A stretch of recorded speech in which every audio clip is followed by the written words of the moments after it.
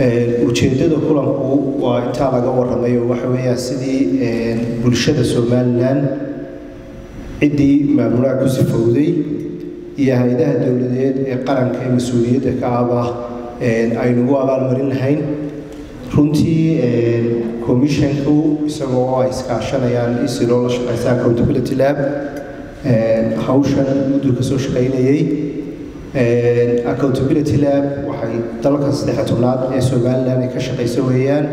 Runtii sharaf bay somalilanna u tahay in barnaamij caalamiya oo muwaadiniinta lagu barayo maamulaagu uu ka shaqeeyo. Labada howlood ee maanta aynu halkan ku qabanayna waa saddex howlood runtii laba maaha.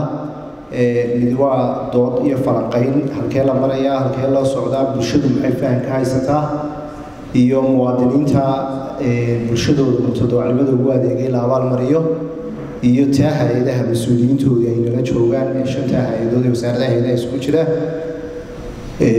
Barnaamijku markaa laba ayuu kala ahaa commissionku institutionska ama hay'adaha dowliga talabixinihii la siiyey gutay isagaa gaarkiisa u soo xulayay. Runtii waxaa doonayaan taa iftiimiyo isagoo ku jaangoynaya habraaca baadhista commissionka maamulaaga u dejisan.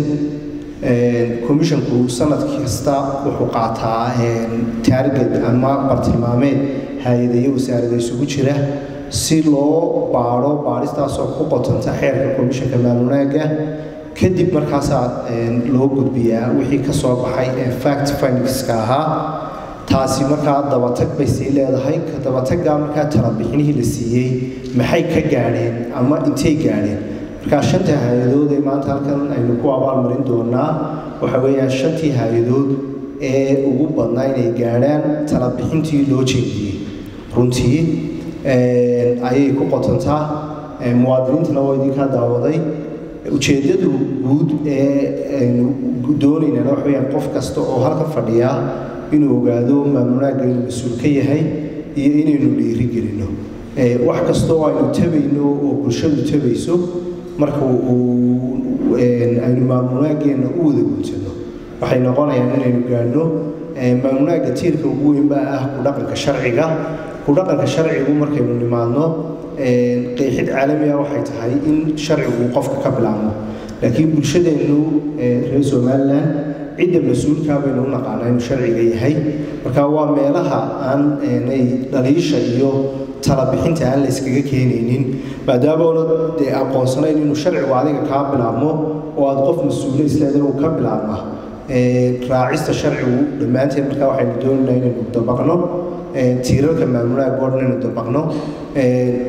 Ujeeddada labaad ee aynu ka faa'iidayno waxa weeyaan keenna wax wanaagsan qabtay markaynu sheegno sida aynu inta dhaliishaaba u wadwadno waxaynu gaadhaynaa markaa inuu dhiirado muwaadinka kalena. Laakiin haddii la iswada dhaleeceeyo waxay noqonaysaa uun inaan intii wanaagsanayd iyo wixii wanaagsanaaba ay inagu dhex baaba'aan.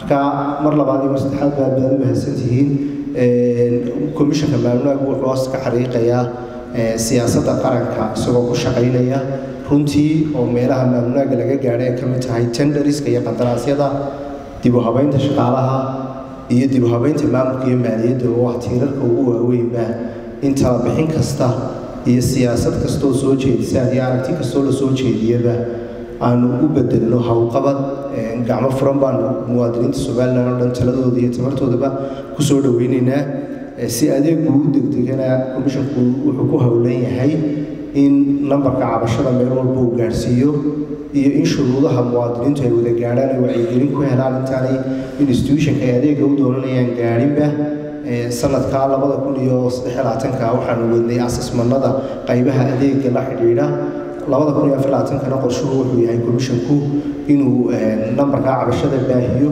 iyo in muwaadiniintu ay helaan adeegooga waqtigii loogu talagalay. Shuruudaha ay adeega ku doonanayaanna ay garanayaan oo meel walba markay soo galaan ay ka heli karaan oo aanay noqonin wax qarsoon.